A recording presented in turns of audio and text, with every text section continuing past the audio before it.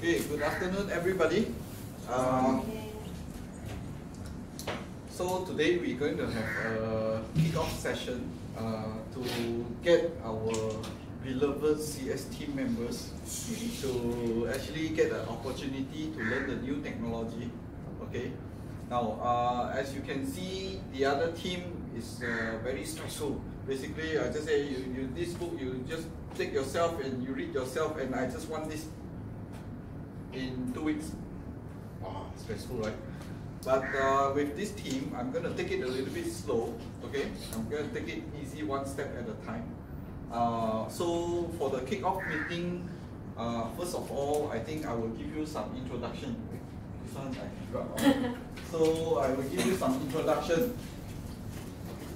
So my introduction, it can be in the form of uh, technology, I can go straight into Java, I can go to Angular, I can do, do all this, but I try to avoid going straight deep into something. But I want to give you some big picture so that you can understand what we are trying to build. Now, a lot of this, part of these sessions, especially for you, and we will do it frequently once, uh, at least twice a week. I really just need to book my time, then I will come in. Then each session, we, we try to keep it within one hour, okay? So for today, it will be introduction. So for this introduction, I will give you high level picture overview so that you know the big picture because later on, uh, if I want, let's say if I, you want to study every part, oh, I tell you, it, it will take, it's not possible for every one of you to be studying everything. So what we will do is after this, uh, after you get the big picture, then we will split the team into different different parts. That means that uh, maybe you focus on Java more, maybe you focus on Angular more, maybe you focus on Lambda more, maybe you focus on uh, uh um, Elastic Beanstalk more, you focus on the RDS more, you focus on uh, maybe the RESTful API more, you focus on uh, different different thing. Okay. So when do you want me to start? Uh, sharing with you in, in the introduction. Uh, I, I would like this session to be question based. That means that uh, you ask a question, I will, you ask a question, ma, one, one question, I have to talk like 10 minutes, explain, you know. So don't be stingy, mm. just ask questions. Maybe go with the architecture? Architecture first, mm. okay. So uh, the architecture is that uh, if you look at the big ledger, uh, essentially we have uh, uh, we, we do it in an account. Uh, uh, AWS uh, account. The AWS account. Mm. so inside this AWS account we have application load balancer uh, does anybody know what is application load balancer? You know? Who don't know what is application load balancer? Okay, thank you very much for raising your hand. Application load balancer is like you give it an IP address. Of course, you can give it a domain name. Let's say in our case, we call it the API dot akaun dot com. Of course, there are some IP address that we can tie to the application load balancer. Now, uh, the application load balancer is like the front end, whereby um, in Elastic, in AWS, there, there are classic load balancer, application load balancer, and network load balancer. And if we don't want to use this application load balancer, it is also possible to, to use technology like API gateway. Okay, uh, it's also possible for, for us to use API gateway. Regardless of whether, of whether we use the application load balancer or the API gateway, of course, behind here we need to have either servers or we can have uh, Lambda, AWS Lambda, serverless application Lambda, okay? Now, these servers can be a variety of things. For example, it can be elastic beanstalk. It can also be uh, uh, the Docker, the container.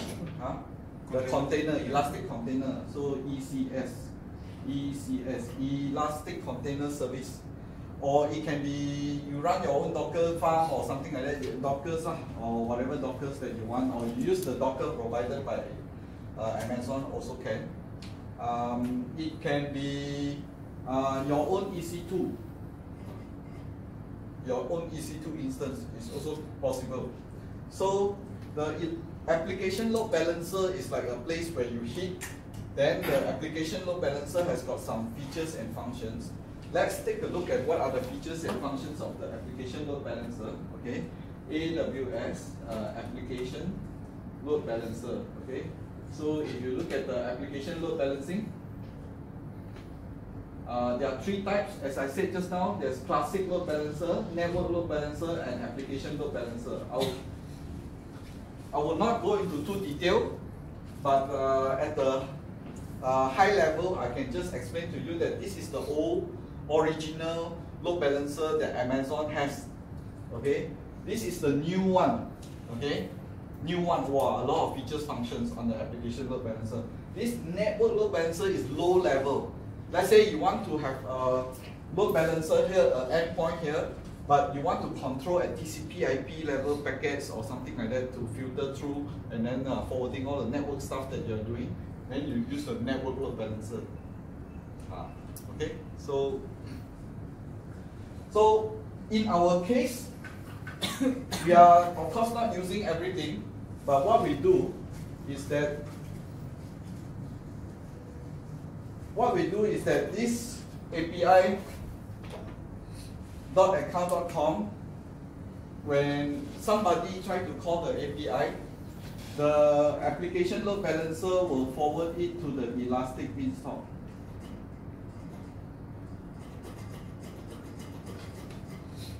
Okay, the elastic beanstalk. So what is the elastic beanstalk, Sohaida?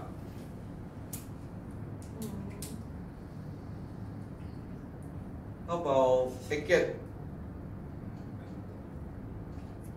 Zoom? Beanstalk. Uh, what is elastic beanstalk? Usually used for developer who don't know the architecture of the, the AWS. Just focus on the application, then you just specify all the configuration, just pump in. Okay. Uh, partially correct, but not complete the answer. Okay. Now I give you an example. Let's say, for example, you we want to launch uh, currently a Docker. Uh.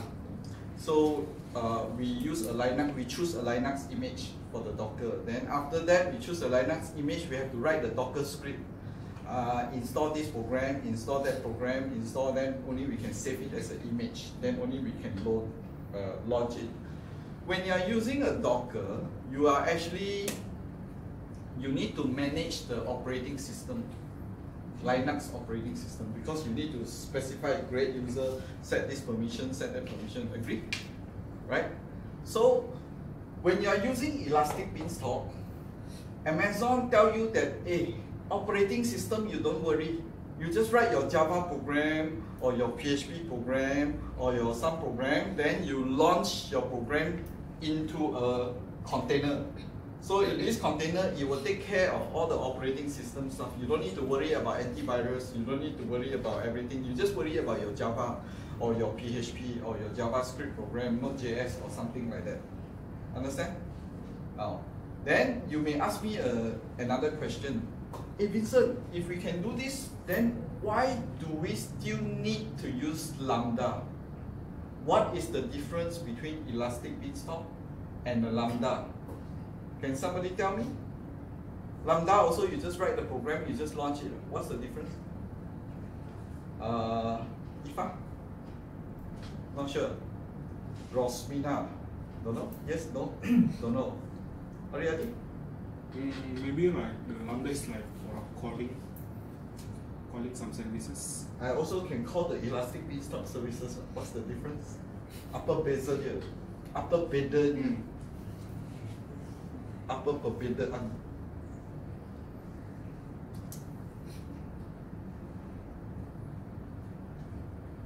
Okay, cannot. Don't know, not sure. Okay. When you use a lambda, you call the function, it will run what you want it to run, then it will go to sleep. But elastic beanstalk, uh, even if you are not calling, uh, you power up the instance, uh, it will remain there. It will not shut down one. Even if there's nobody calling, uh, the, the instance is still running, it's still costing you money in terms of the EC2. The elastic beanstalk, the pricing charging mechanism is like the EC2 charges. But the Lambda, uh, it is per execution call. Every time you call is a 0.0000000 something cent. Okay? And after you call, you will go to sleep. And every time you call, it will load again, wake up, initialize, then only it execute, then only you go to sleep. So I can tell you the difference is that if you use Elastic Beanstalk, this is like uh, uh, the application server is running all the time. You can actually running something like cron or something like that in the background or something like that is possible, but not with Lambda. Lambda is just you want to call, you wake up, you do what you do, then you go to sleep, that's it. Is it clear the difference? Or if you don't understand, you can tell me, I, I can explain a little bit more. Suhaida, understand or don't understand? Can. What's your name? Sharvin. Shavin. You, do you understand? Yeah. Okay. So the main difference between Elastic Beanstalk and Lambda is that Elastic Beanstalk is like a server, you, you power it up. but although it's like a server, you power it up, but you don't mess with the operating system.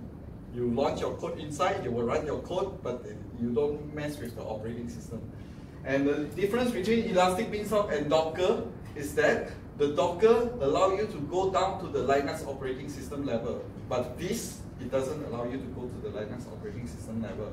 And the difference between Elastic Beanstalk and Lambda is that Lambda, wake up, do something, go to sleep. But Elastic Beanstalk, wake up, do something, and then still stand by there and until the next call, you do something, then stand by. When you finish the task, don't go to sleep, stand by.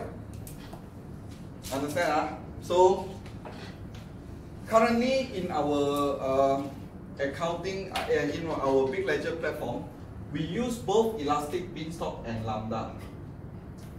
Okay? And there are also two types of Lambda. One type of Lambda is for the platform, the platform Lambda. The other type of Lambda is actually what we say the external Lambda.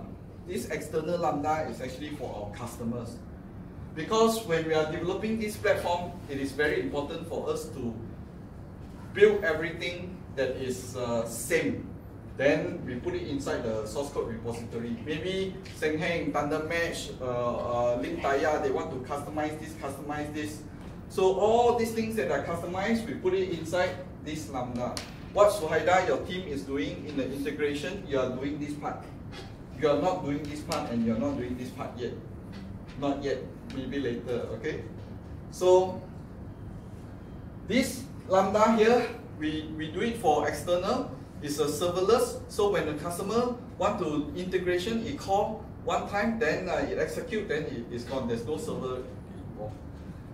And this lambda actually allow you to run in two methods. The first method is when something call, you wake up the lambda, do something, and then go to sleep. That's the first method. The second method is like the cron method. That means that this lambda, you will, uh, you can set one uh, uh, every one minute, wake up, do something. Although nobody call you, but you just wake up by yourself and, uh, and then do something. It is possible. Okay?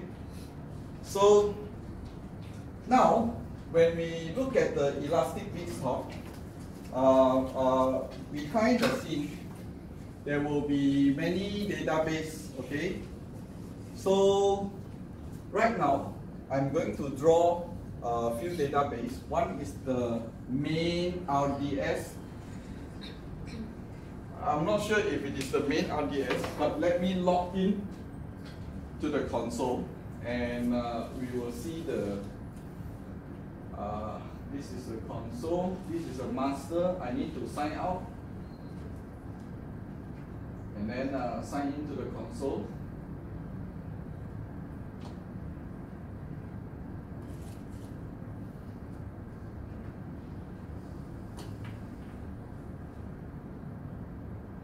I need to go into the AWS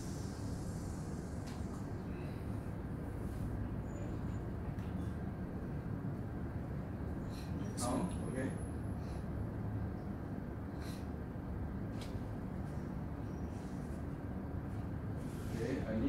MFA code. So this is the MFA code. This code will keep changing one.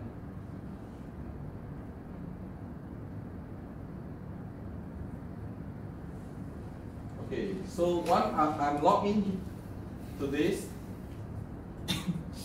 I click on the RDS and there are four instances here. Uh, here you see there's uh, four instances of the RDS. The first most important RDS is the Big Ledger Dash Master. So this is uh, wrong already.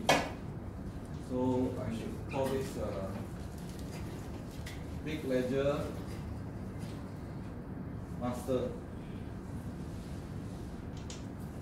Inside this Big Ledger Master, there are two to three different databases for the global global uh, uh, uh account, uh, the whole Big Ledger platform. And then here you see the AKN uh, staging 001 and tenant 001. So I have a staging 001 and I have a tenant 001. This tenant 001 uh, currently is like when somebody go to the akaun.com platform website, they create a tenant, they call the API to create a tenant. Then it will create another database inside here, another database inside here. Each tenant will have one database. Okay, this is for now. Uh, but in the Java program, we have already coded it in such a way that if if more than 10 database, create a new RDS instance is tenant 002, and then create a new database here. Then if more than 10, then create another new, new, new RDS. Okay, we have coded it. But we also parameterize it because we are still considering hey, next time, uh, maybe instead of one RDS with 10 database, we may make it such that we change the 10 constant to 1 so that every time there's a new people creating a database, we create a new RDS.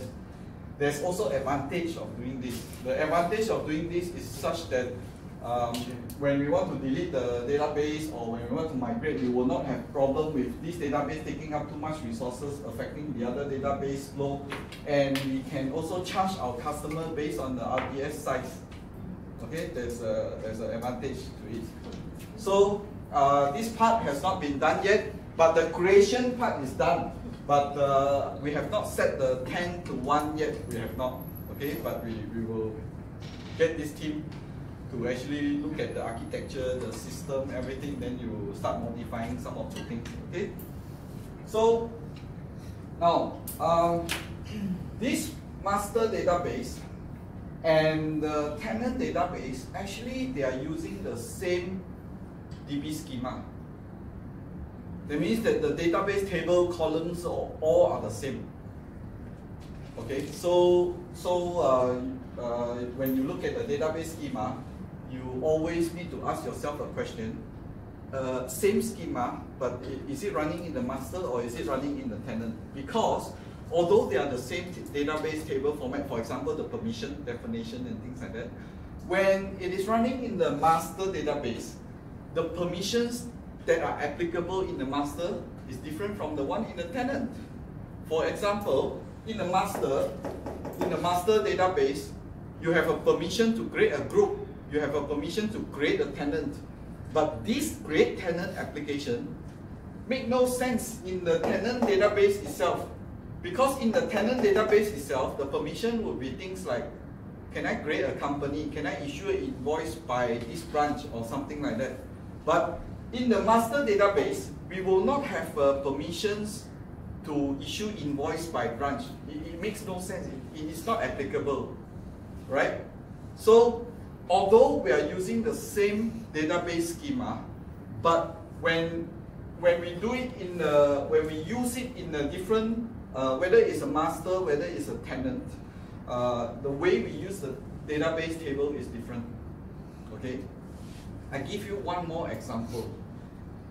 When somebody go and sign up a Facebook account, just like yourself. You sign up a Facebook account or you sign up a Bitbucket account.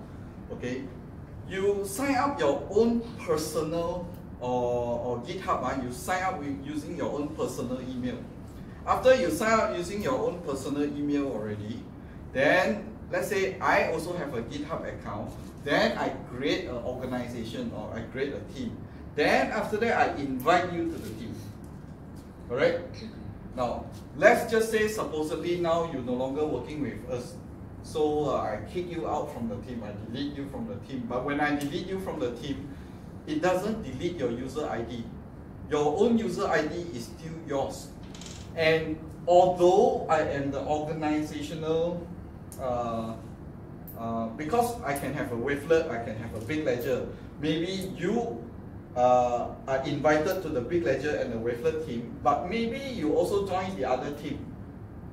So although you are a member of my team, and maybe you are also an administrator of other teams that you grade and you pay yourself. And when I kick you out from the team or when I invite you to the team, I do not have the right and the permission to reset your password. Understand? So you may be having a Facebook ID, I have a Facebook ID, I create a Facebook group, so I'm the administrator of the Facebook group. You also create a group. In your group, I am a member, but when you are in my group, you are the member, I'm the admin. Understand? Okay. So essentially, if you look at the Big Ledger platform, what we are trying to do is actually to create a Facebook plus a Dropbox plus a, a LinkedIn combined and use it in the ERP environment. Okay, so when we want to have Facebook, LinkedIn combined and use it in the ERP environment, um, uh, we want to be able to be in future whereby I, I, I you just imagine uh, today we have so many people um, uh, integration. You send the file to me, I send to the FTP to the server, then you take from the FTP server, then you integrate here and there, right? Uh, this kind of approach is, is the same as 20 years ago when I want to email you an attachment. I have to attach the file into my email, then I send to you. But sometimes my email provider block or more than 20 megabyte cannot send. Still can remember those times? Yes. Can ah? Or maybe you are too young to experience that, or you also experience that. Attachment cannot, right? 25. Uh, 25 kilobyte. Okay, you also experienced that. I thought I'm the only one old enough to experience that. okay, so, and then do you also recall the time that you no longer send attachment, but you're actually uploading the file into a Dropbox then you send a Dropbox hyperlink to your friend and then he can download himself. Yeah. You remember, right? Okay. So when we are doing uh, this method, essentially what we are trying to do is to make you copy the concept of Dropbox, of uh, Facebook, of uh, all this, but use it in the enterprise environment. It, use it for business.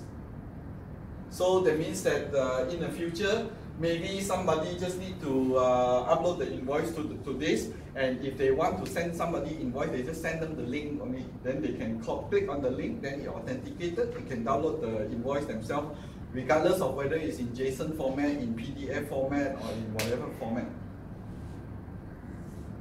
Can you understand? Okay? So, currently, is there, can you think of any accounting software, any software like that?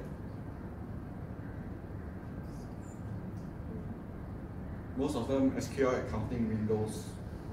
You know, even some of them are web-based, but they are they are not using the mm. Facebook concept. They are not using the Dropbox concept. Agreed? So, if you look at Facebook, if you look at Dropbox, Dropbox only ma, save files only ma. If you look at Facebook, Facebook is not like Google where wow the search technology is so chunky, so so advanced or something like that. right? But it is the idea. It is the idea. So what we what what we do here, yeah, maybe it's it's not like uh, something new, something too too complex or something like that. But it is the idea that we have that we want to transform businesses to actually make use of all the technologies that we are already available, experience and find that it is good in uh, some of the Dropbox social network or whatever. We learn from there and then we use it for business. Okay? So, um, now that I talked to you about the back end, uh, actually it's quite simple, right? Uh, API load balancer, some Elastic, Elastic Beanstalk and some Lambda, and uh, database is uh, RDS. But we have one or two things more. Uh, in EMP or in some of our servers, uh, we, we use only RDS, but in the big ledger environment, we actually use S3 also. Okay, we use S3 also. Uh, why we need to use S3? Because RDS, if we store the images inside, number one is load the database, number two is that uh, it's also quite heavy on the database and it's expensive so in the in the big ledger, we actually will save files in the RDS, but we will create one row in the database table saying that this file is this location so that they can do the search and things like that. Okay. Um, and in this elastic beanstalk, we are actually using a Spring and Java, of course. Okay. Uh, this one, I think I don't have to convince you. Uh, top programming languages in the world. Uh, this one is uh,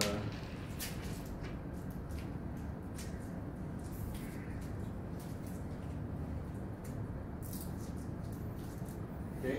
So top programming languages in the world.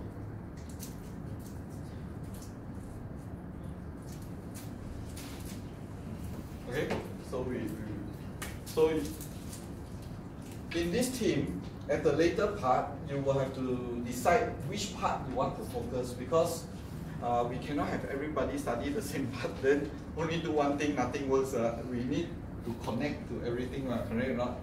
But if you are a manager, if you are a manager or assistant manager, or if you aim to be a manager someday, you need to actually have a full stack Okay, you need to know inside out every part.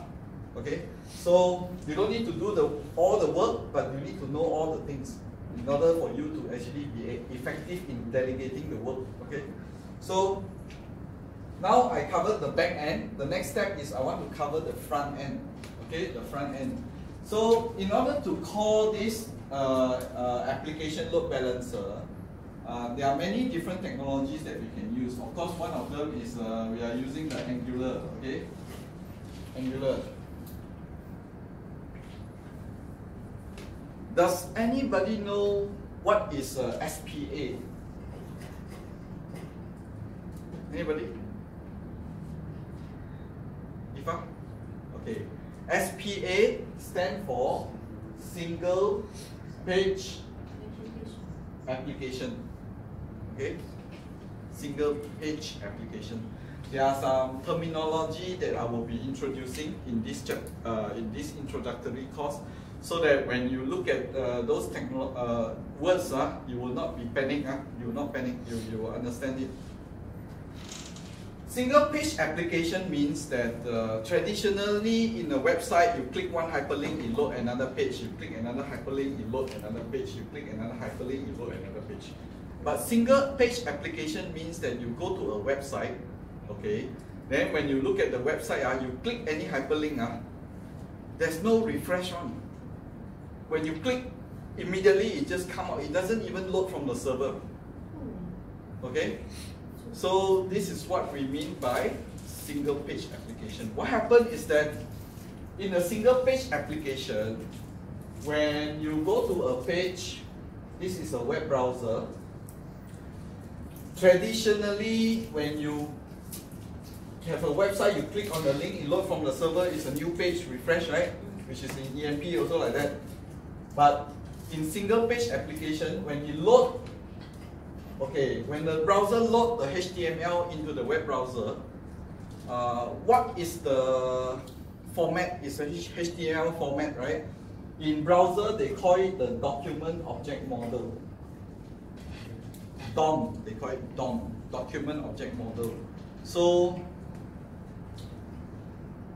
uh, the uh, without all these single page application, sometimes you can find JavaScript that will follow your mouse pointer lah, give you a trail lah, uh, uh, uh, some JavaScript basic animation using jQuery library and things like that.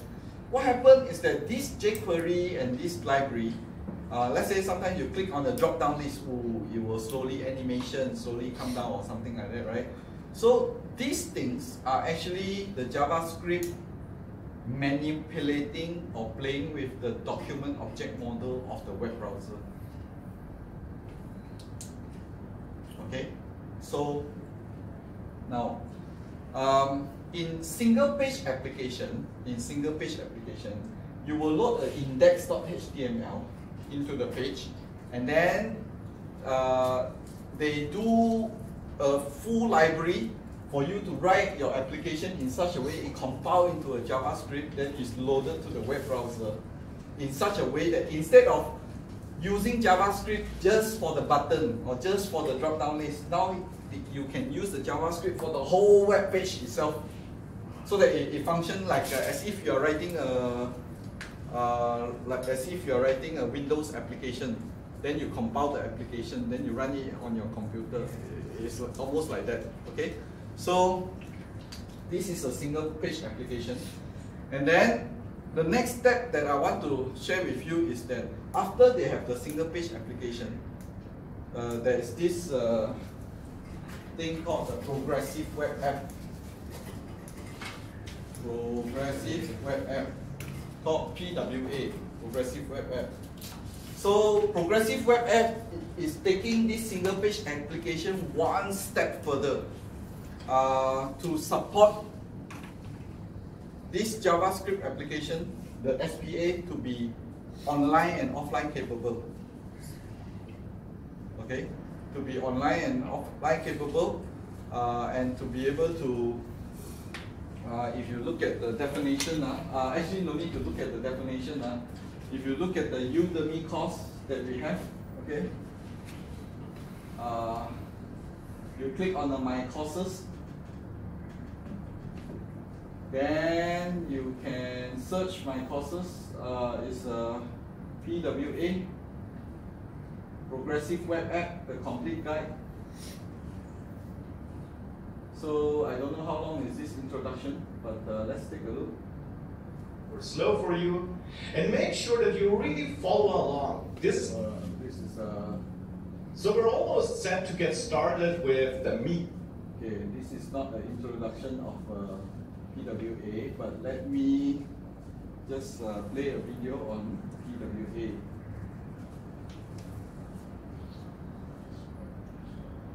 Too long. Uh, this one is uh, two minutes.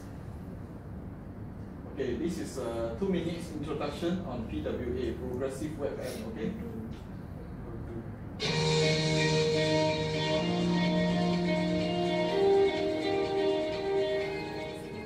Progressive web है यूँ समझ लें कि आपकी website और आपके mobile application language दोनों की शायद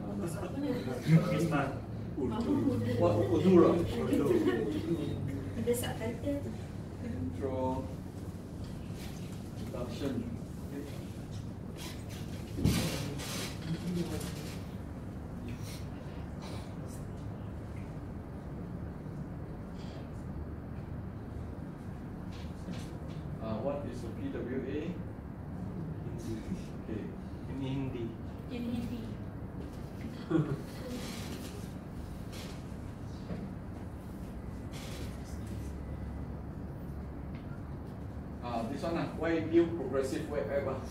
Okay? I think should be okay, this one. If you're already sold on progressive web apps and you don't need to make a business case for them, you can probably skip this video.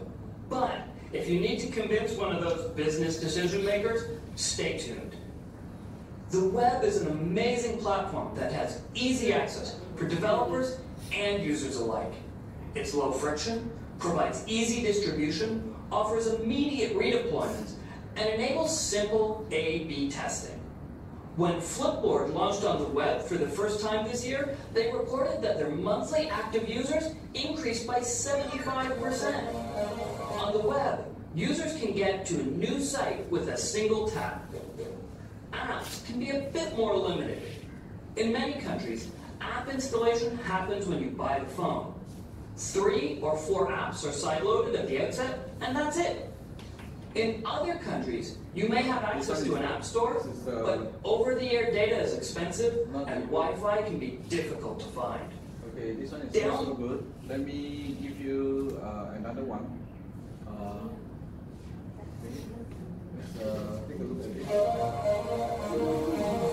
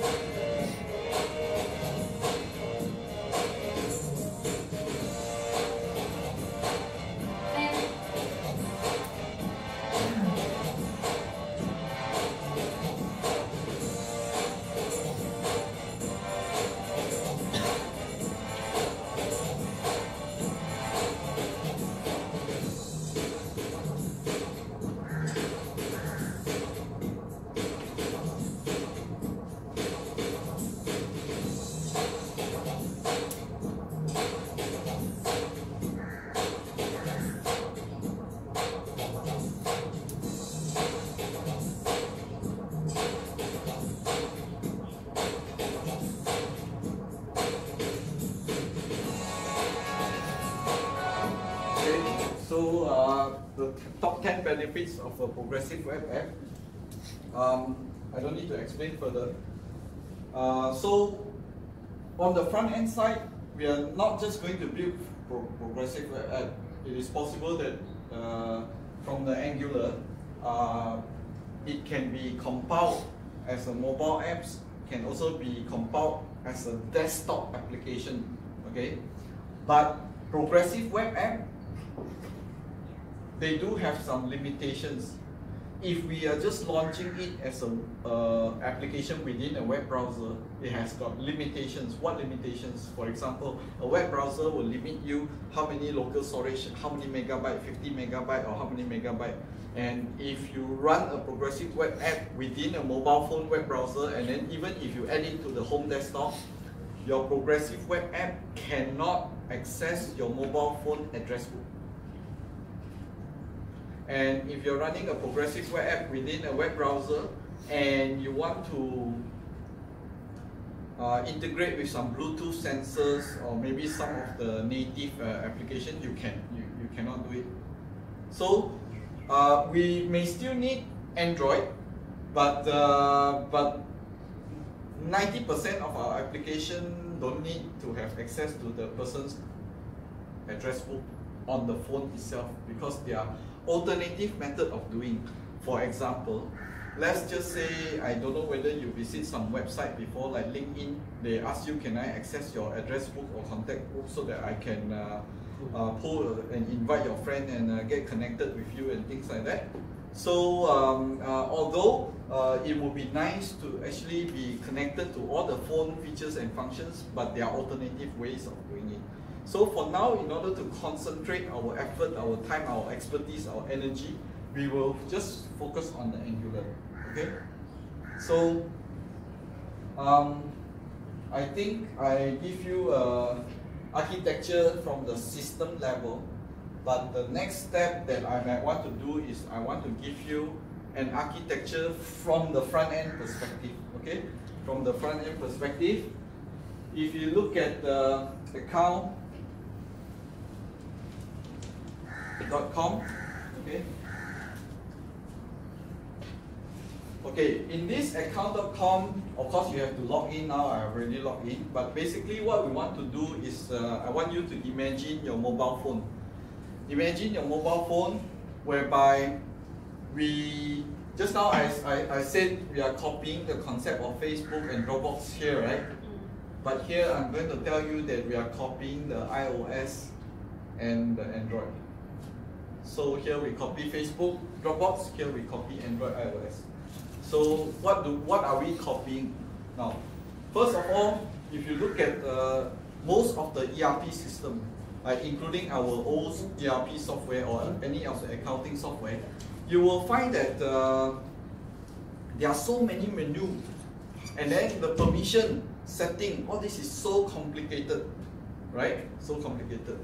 So in the new uh, platform that we have, number one thing that we need to identify is that we will try to make all the permissions that are related to this applet to be configured in this applet. Instead of I have a global permission, all the permissions that are related to this applet to be configured in this applet so that it is separated cleanly. Now, if you look at the wavelet EMP, for example, maybe whether you can view the average cost you configure it here for one screen, then after that you go to another screen, and suddenly cannot. So, so uh, in order to make it, break it down to be smaller unit, if a permission related to this applet, we configure here. If it is, a, although it's a similar thing, if related to that, then we configure it there. So there's a, so we try to make each of the, uh, in your mobile phone, you call it apps, uh, but here we call it applet. Now, in, if you Google about it, applet is traditionally used by Java uh, to be used in a web browser, but that technology is dead and it's no longer in use, so we can reuse the word lah, applet lah, okay? So, um, what happened is that Android is meant for personal user. You sign into the Android, your phone, you sign in with your fingerprint, then you just download the app that you want uh, in a device. Now, in this case, when we are using it for the business, it's a little bit more complicated. I, I, I explain to you why. First, when you sign up to this platform, there are two types of applet. The first type of applets are the applets that individual, as you sign in, just like individual into the GitHub, GitHub, Bitbucket, or Facebook, you can download those applets that are specific to you, individual. Some of them may be chargeable, some of them may be free. You know, just like you go to Android Play Store, you can download some free, some chargeable. But there is one big difference. One big difference is that, can you imagine if, let's say, uh, I am a Sengheng or I'm a Thunder Mesh boss, Thunder Mesh boss. So um, I think the platform is good, so I want to use the platform. And then uh, first of all, I need to have a database. So I will go to the tenant management here. I will go into this applet. Okay, so when I go into this tenant, I want to add a new tenant. So I want to create a tenant. Where can I create a tenant? I don't know where is the create tenant. Add tenant. Add tenant, okay, I have an add tenant. So I can choose a logo, then I create an add tenant. So after I add a tenant, it will create a database here, correct? It will create a database here. And then uh, I'm the admin now because I created, I'm the owner of the tenant. So I can uh, invite other users join me, just like Facebook group. I can join, join, join, join, add as member, add as whatever. So after I created a tenant, I can create more than one tenant. I can create tenant one, tenant two, tenant three. Okay, Homa, uh, Sinking, Thunder Mesh, uh, uh, whatever. So I can create multiple tenants. After I created the tenant, the thing is that I have many employees. London Mesh, I have finance department, I have a different department, okay? And in this akaun, there may be hundred thousands of apps, different kind of apps doing different things, right? So there are different apps doing different things. But some of app are paid, some are free, and some of these app, uh, let's say I want to a Lift application app. So this Lift application app, because I have many different tenants, I also own many different tenants. So uh, maybe in this tenant, I uh, is the main tenant. All my staff, uh, I want to use the Lift application here. But for this tenant, no need lah, because this tenant, the business is uh, maybe some business that I cannot do time attendance one, so I, I, I don't want this. So what happened is that anybody, including you, including him, you can create a catalog let's say this catalog, one catalog is like a group of applet inside. So I can I can have a, catalog management. That means that uh, is uh, right side catalog. So basically, I can create a HR catalog. I can create a finance catalog. I can create a different catalog. Then in each of the catalog, I add. Let's say if a finance catalog, I only add uh, uh, bank reconciliation, uh, profit and loss, and uh, maybe something. Okay, I can name the catalog myself, or whatever name you want to give it. Maybe you have finance manager catalog, finance junior executive catalog. For the manager one, he will have one applet that can see P and L. But for the executive one, they only have bank reconciliation or something like that. And after I created this catalog, let's just say if I, I want to grant you the permission, when you go to your Play Store, you also log in your own ID, you go to the Play Store, uh, you can install the applet in the catalog that I give you permission. Okay, so I give you a permission to install the applet. But maybe I give you permission in my catalog, there are 10 applets. But maybe, although I give you 10 applets, you don't want all 10, maybe you only install two. Because if you install, I need to pay. And for the applet that you don't use, you don't install. Lah. Okay, although I give you the permission, but that doesn't mean you must install. Understand? So, Hi, um, the Maybank guy is here. oh, okay. Yeah, okay, okay. Should I tell him to sit? Yeah, never mind, never mind. I think he's leaving. So he's asking like when should he come back? Or uh, you, you can ask him to come in. No. If he should come in now or later on. Uh, he can come in now, it's okay. Yeah. Okay, so um, I was talking about the catalog, whereby I may created a catalog, put 10 applet inside, I grant IFA permission to you to access to this catalog, but he only installed three. But there's one of the applet that I think is important. As the administrator, I I'm willing to pay for it, so I, I can also click one button to install for her. Oh, this one Android you don't have this function. It's not like I can I, I pay for the program, I install for you. Can, can I install for you? I cannot, right? Cannot. Cannot, right? So you see in company environment, enterprise applications, uh, it is quite important to have this kind of features and functions whereby I install for you, I, I, I, I pay, I install for you, that kind of features. So that the next time if I log in, eh, there's an icon with something new. Okay, basically the interface you see here is still not so beautiful, but what we do is uh, later we will make it more beautiful, make it look exactly like the mobile phone with the icon where you can press, then it starts shaking, then it, uh, you can group it into a, so we will let the user do all those things by themselves. Now, if we create uh, an application that is uh, very complex like the ERP, nobody know how to use. But if we learn from the mobile, why we need to learn from the mobile phone uh, is because mobile phone is so user friendly, it's used by millions, billions of people, and nobody need a teacher to teach them how to use a mobile phone most of the time.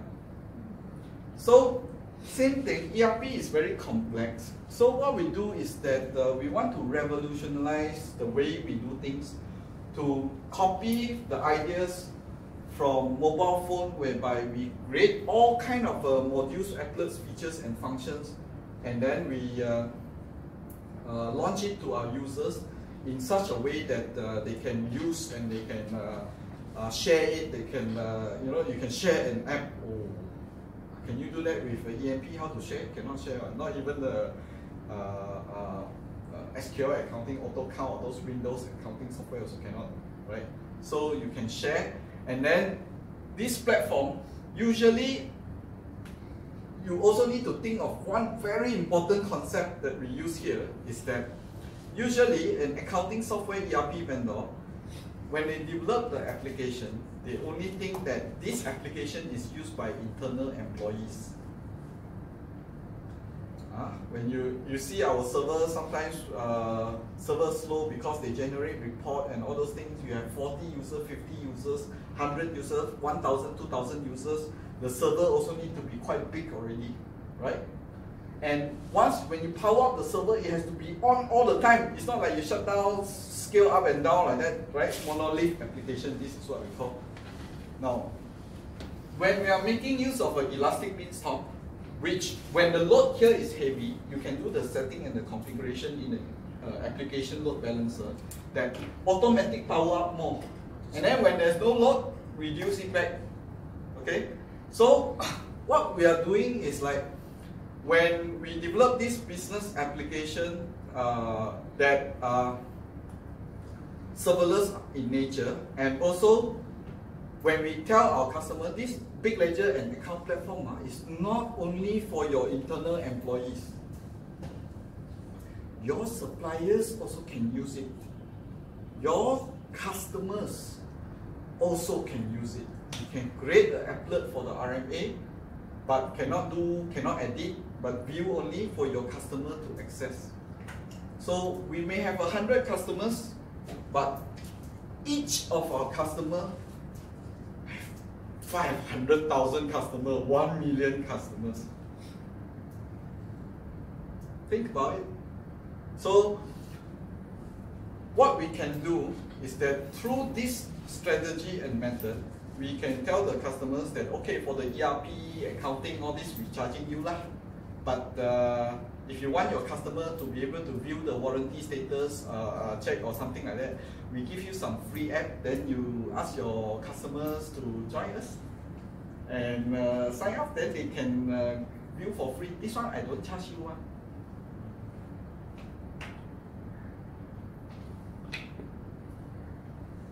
Can you imagine how many users we may be able to attract to the platform? So from this, what we want to do here, then maybe we, we, we can tell, tell our customers, the users here, uh, if you introduce uh, how many customers, then uh, we give you free credit. Uh, for how many months? Or something like that. And then, uh, uh, so when we doing this new platform, because as you can see, we are going the very advanced uh, automatic uh, power, powering up the servers and all these things. So in the new product that we want to develop, we want almost, if possible, zero human intervention. But if we want zero human intervention, we must be damn good, very user-friendly, and uh, with all the robotic chat, uh, automatic support, all these things must be good lah. If it's no good, then uh, when the user not happy, they throw away the software platform, don't want to use anymore already. So if we want to uh, make a product that can scale fast, we have to make it really good. Uh, and if we want to make it good, feature rich, powerful, those group of programmers that are doing the project alone is not enough. We need a bigger team to actually build the platform together. Okay?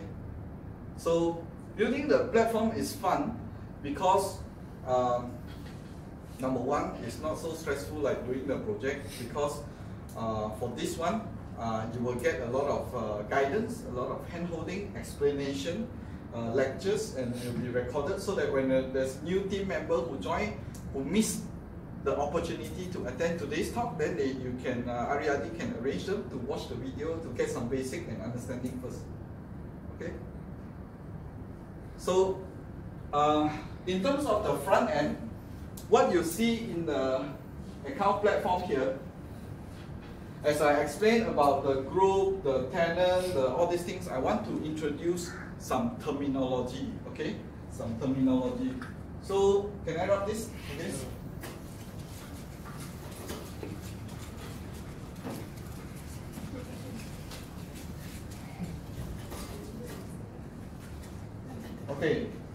in this, uh,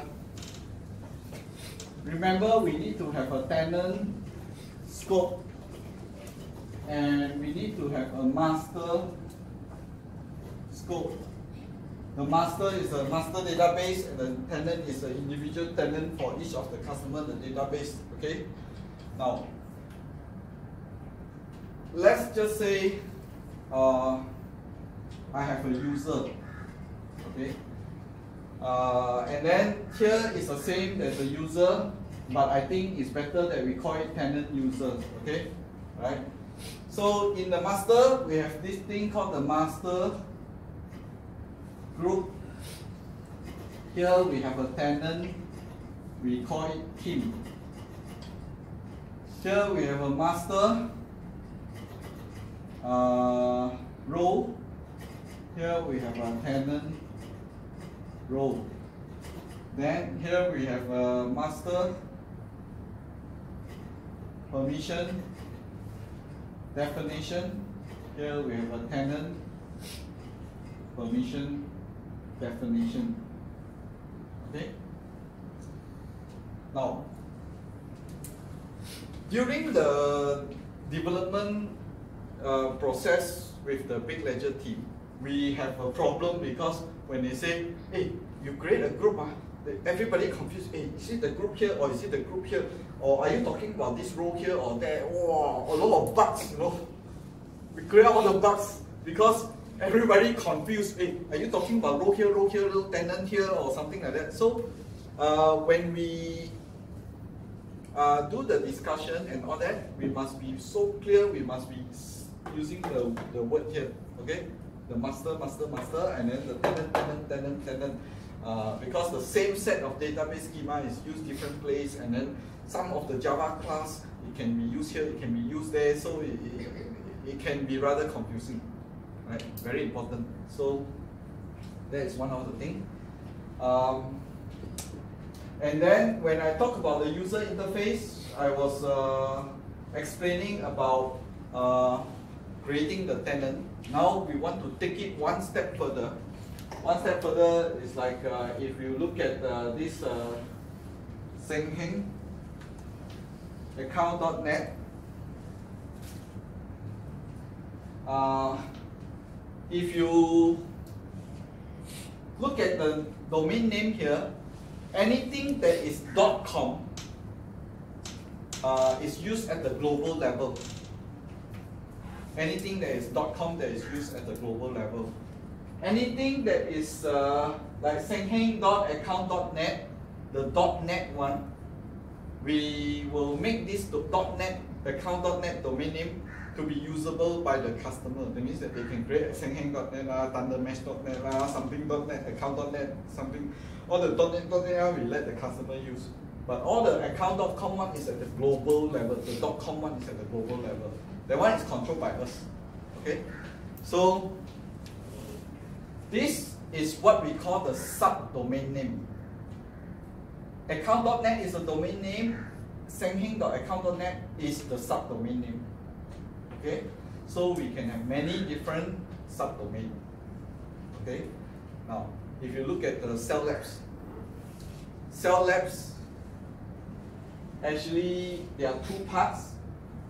One is they have access to this back end. The other one is if you look at the let's say cell labs here.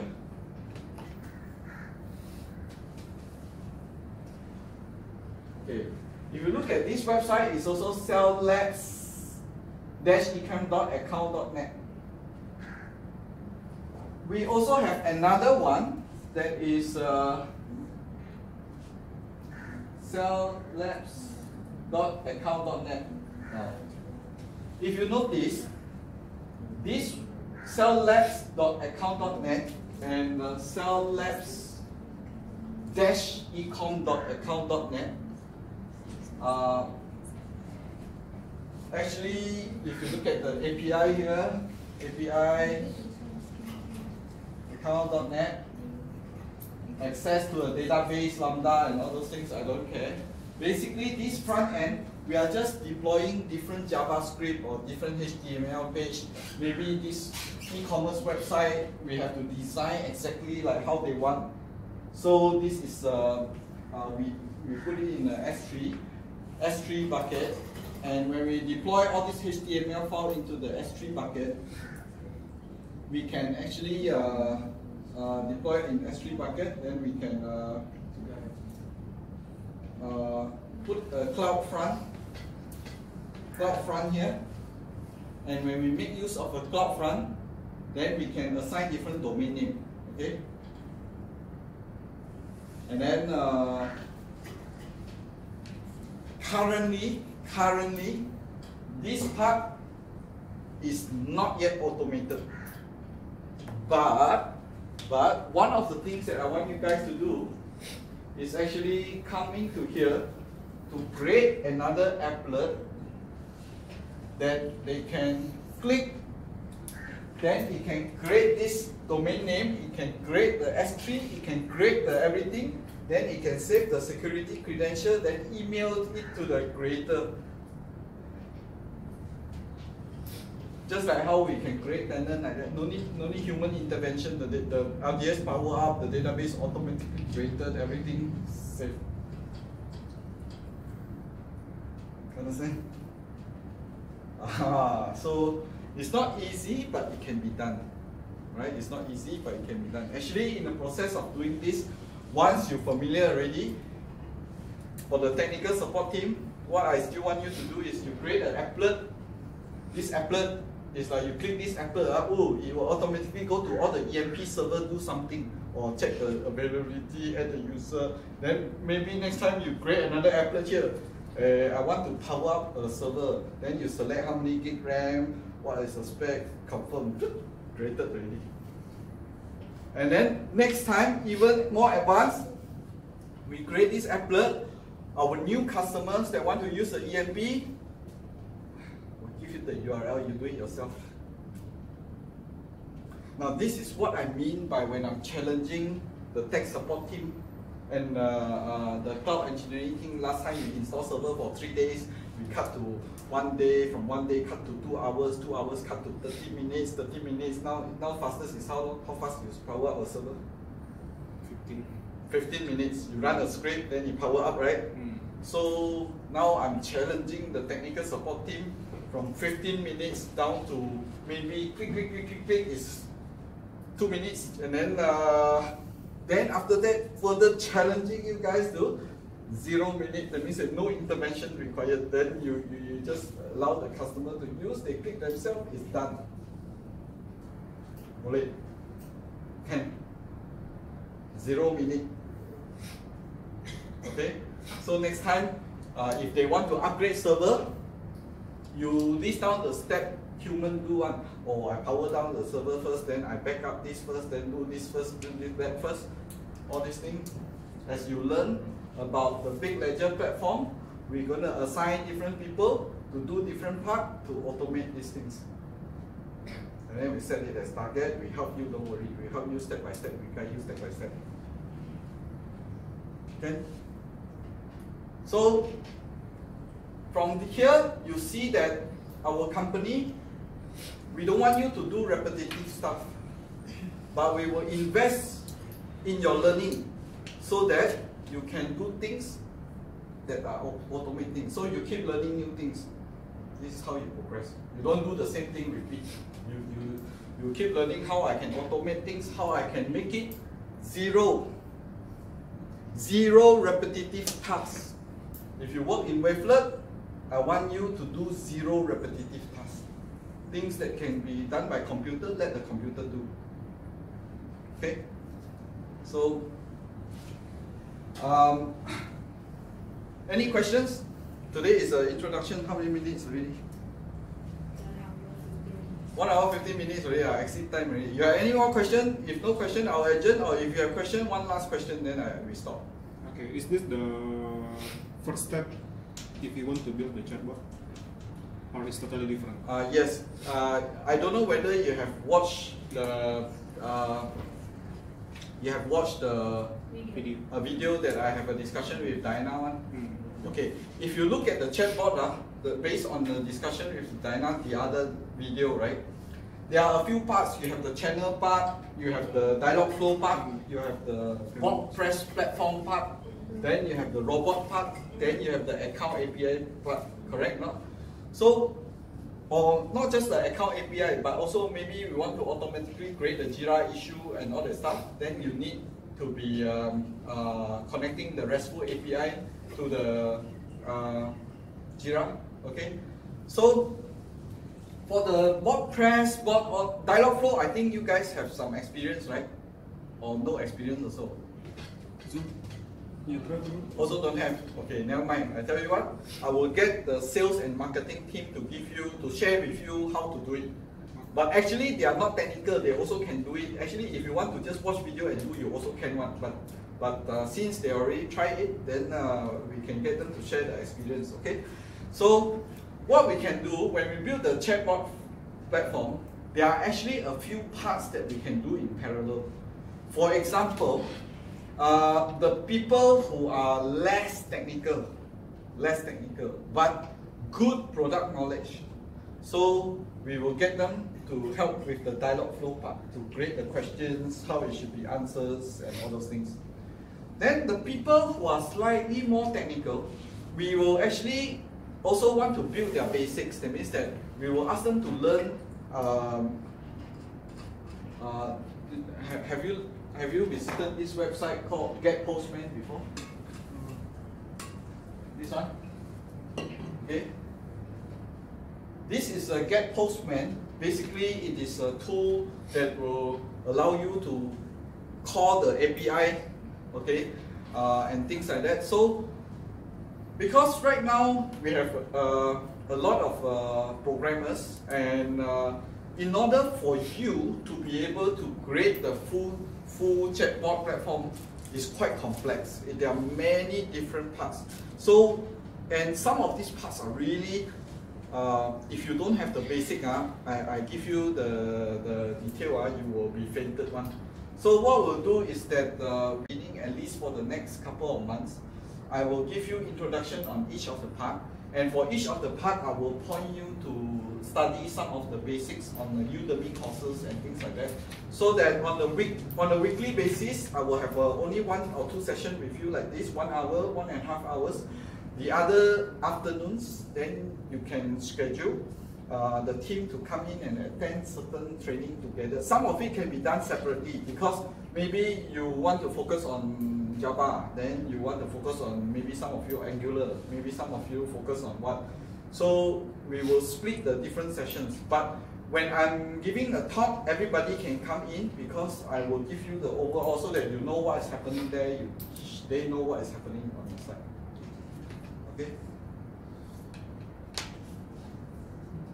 So uh, uh, have I answered your questions? That means that to do the chatbot part, uh, you still need the basics, and uh, uh, we it's very difficult for us to straight away jump into the chatbot. But I, I actually need to build some some basics with the team first. Because even if you do chatbot, if let's say the chatbot is only telling the customer, hello, how are you? I'm fine today, that kind of stuff is a waste of time. But what you want is really the chatbot that can, my server is slow, then it go and check uh, what's the RAM usage of the server, then it reply back, oh, because your RAM, would you like to restart server? Yes, please. Okay, I'll restart the server. Then you come in, right? Uh, so in order to automate this, we need to actually build the basic one by one. Because I, I try to avoid a situation where uh, I ask you to do, but then I actually code for you everything, then you just see, oh, okay, then like that is no point, you don't learn one. So, so in order for you to learn, you actually I have to give you the basic, teach you the concept, Then after that, give you an assignment. Then you do the assignment. In the process, you face problem, you try yourself wrong, never mind, until you get it right. That's where you learn. Okay. Okay. Any other question? If not, we'll adjourn today's meeting. Okay, thank you very much. Stop this.